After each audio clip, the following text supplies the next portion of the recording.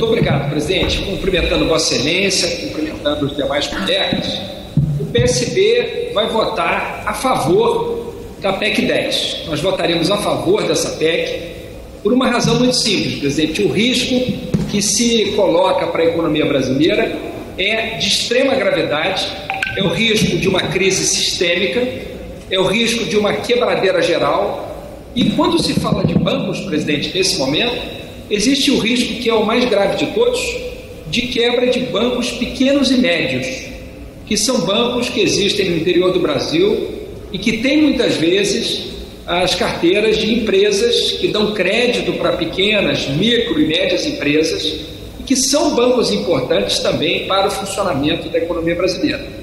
O que poderia haver de pior nesse momento seria uma crise sistêmica, uma crise em toda a economia brasileira e que fosse contaminando um setor a um, de forma que daqui a pouco a economia quebrasse, nós entrássemos numa deflação e, portanto, o país não conseguisse reerguer sua economia na saída da pandemia. Esse é um risco muito grave, é muito sério, é o que pior pode haver na economia brasileira nesse momento, e sobre isso hoje há um importante artigo da economista Mônica Debole, publicada no jornal Estado de São Paulo, que mostra como essas medidas que estão sendo aprovadas hoje na Câmara são importantes e como evitar o risco da deflação é importante também.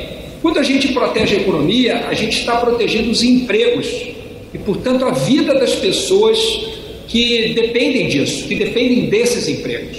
Não se trata de uma proteção é, meramente das empresas, ou de uma parte do sistema financeiro que é importante para a sobrevivência dessas empresas.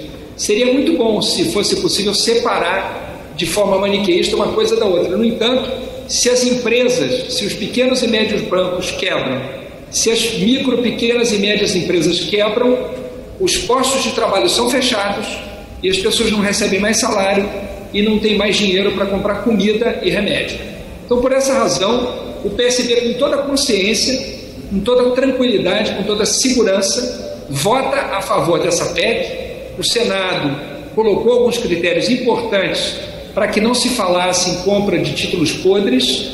Os títulos que podem ser comprados são títulos classificados, como foi debatido nesta casa na última sessão. Houve um destaque para retirar a classificação de títulos, isso foi rejeitado, foi mantida a classificação. Portanto, é com esse espírito é com essa motivação, é com essa intenção que o PSB vota a favor da PEC 10 e não obstruirá a sua votação. Conforme acordo que fizemos, nós não vamos obstruir a votação, porque entendemos que atrasar isso também pode colocar em risco a economia, as empresas, os empregos e, portanto, a vida das pessoas. Muito obrigado, presidente. Tá bom.